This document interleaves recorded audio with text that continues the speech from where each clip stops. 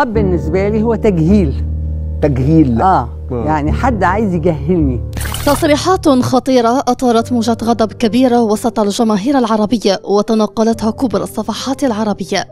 كيف لا وكاتبة صحفية ونائبة برلمانية تصرح بهكذا تصريحات غير متوقعة وصادمة. لأن ده يثيرك أنت كرجل. يعني العفو بقى أنت مش رجل.